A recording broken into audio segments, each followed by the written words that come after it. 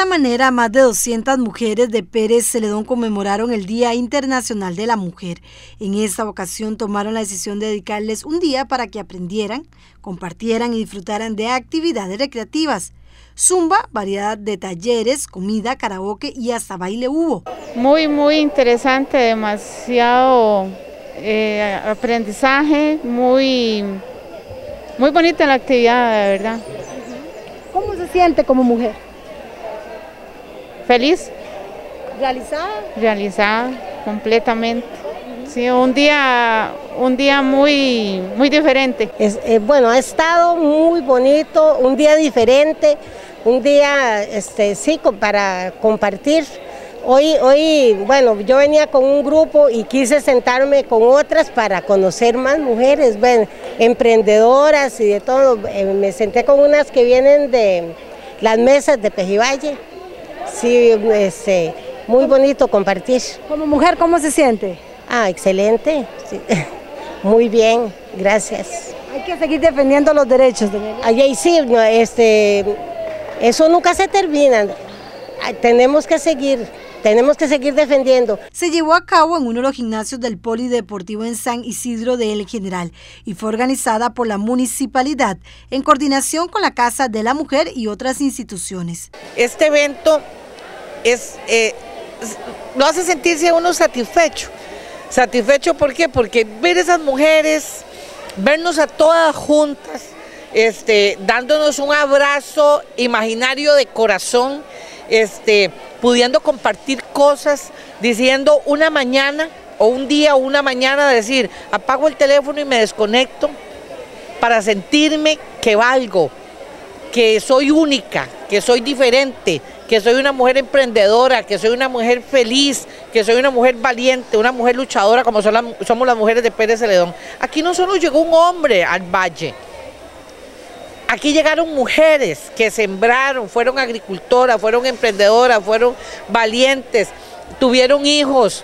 Nosotras, esas mujeres fueron las que nos enseñaron a hacer hoy. Mi madre fue la fundadora de la escuela de Santa María de Cajón. Imagínense en, aquellos años llegar a Cajón, donde no había un centímetro de cementado de asfalto, ni en la carretera interamericana, a caballo. Imagínense ¿A qué mujer crió mi madre? ¿A qué mujeres crió mi madre?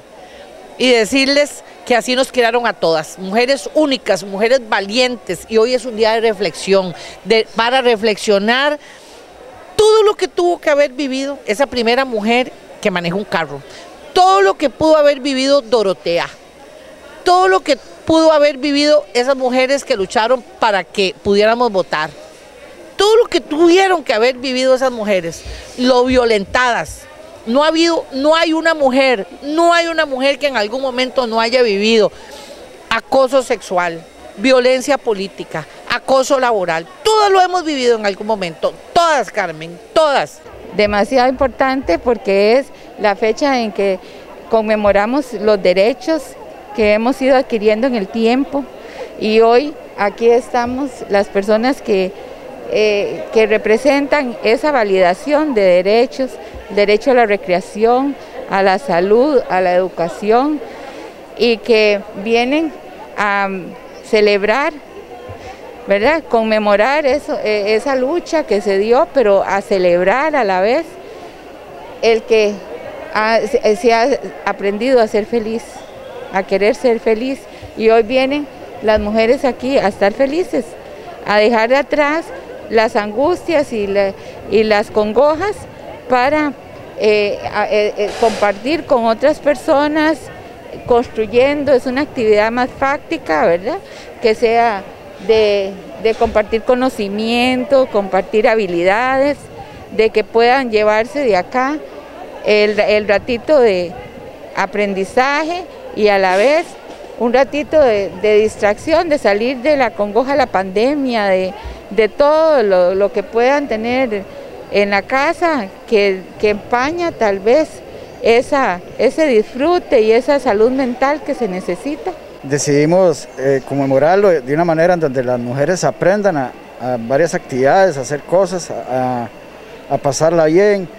Eh, vinieron a aprender este, cómo hacer una hortaliza, cómo hacer globos, cómo eh, desarrollarse para ponerse a activar.